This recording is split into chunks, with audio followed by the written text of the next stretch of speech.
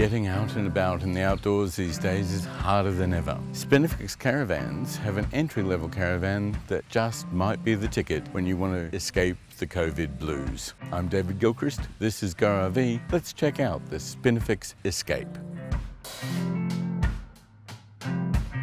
And I'm with Mark Evans. Mark, Tell me about the van. Uh, this is a new release from Spinifex. It's the Xscape. It's an off-road caravan. Uh, we've fitted this up underneath with the Cruisemaster Country Road suspension.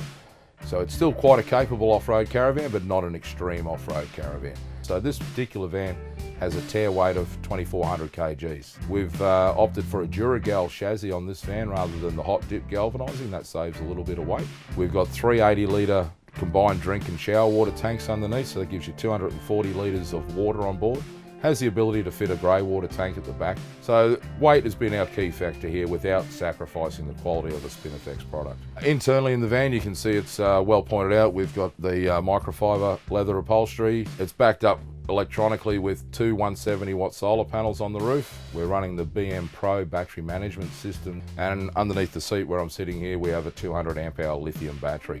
So that's going to be more than capable of running this uh, van off grid for quite a reasonable amount of time depending on how much sun you've got to bring in those solar panels. The fridge we're running is a compressor fridge and it's a 12 volt 240 fridge. Also featured in this van we've got a 3 kilo top load washing machine. Also comes equipped with the Truma Aventa Comfort Plus air conditioning unit up on the roof so it'll keep you cool in those hot days as well. We didn't want to sacrifice any of the quality or the strength of a normal Spinifex caravan.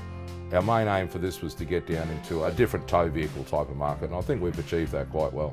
And it's a quite a beautiful van. That was the Spinifex Xscape. In the Spinifex range, it represents the entry-level van.